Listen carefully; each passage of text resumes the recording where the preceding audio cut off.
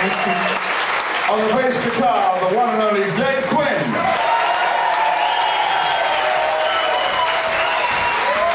On the keyboards, Andy Murray.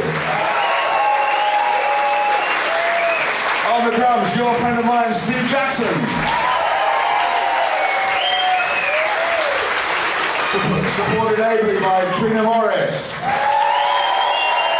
Steve Turner. Tim Rennick.